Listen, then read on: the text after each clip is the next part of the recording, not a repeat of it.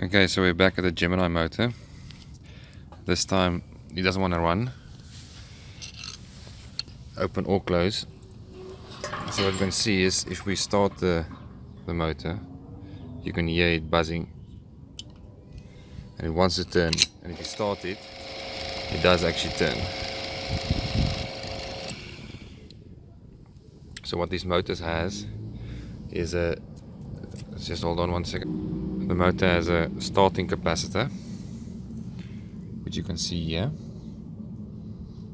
Um, that helps to get the phase factor correct um, to get the motor to start turning.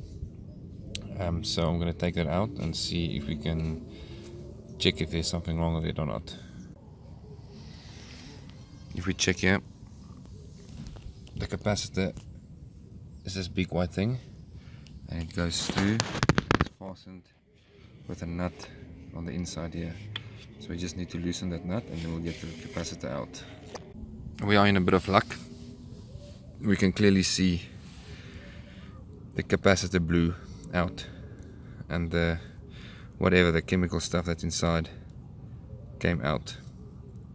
So this capacitor is definitely broken. Let's just see what capacitor is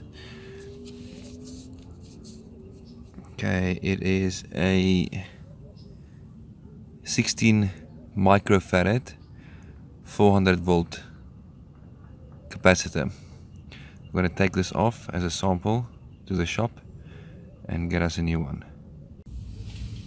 So we got a new one. Um, the previous one was 16 microfarad. This one is only 12, but they assured me it will still work. They don't sell a 16 one. Um, so let's connect it. I took a picture of the old connection before I took it out. And what it seems to me like was you need to put blue across blue and red across red. So I'm just going to do that. And then we'll see if the motor starts up or not.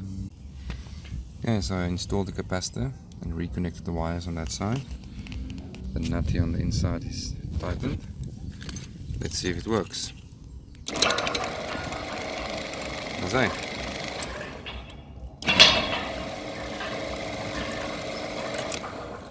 there you go.